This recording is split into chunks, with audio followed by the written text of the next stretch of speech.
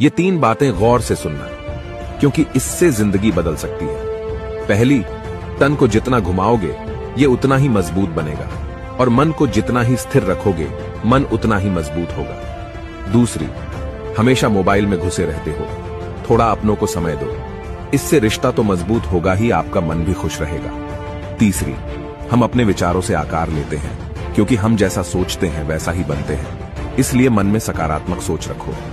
बातें अच्छी लगी हो तो कमेंट में अच्छी बात लिखो और उन लोगों को शेयर करो जो किसी को समय नहीं देता है।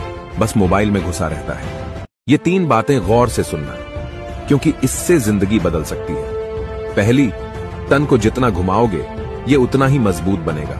और मन को जितना ही स्थिर रखोगे, मन उतना ही मज़बूत होगा। दूसरी, हमेशा मोबाइल में घुसे रहते हो। थोड़ा अपनों को समय दो।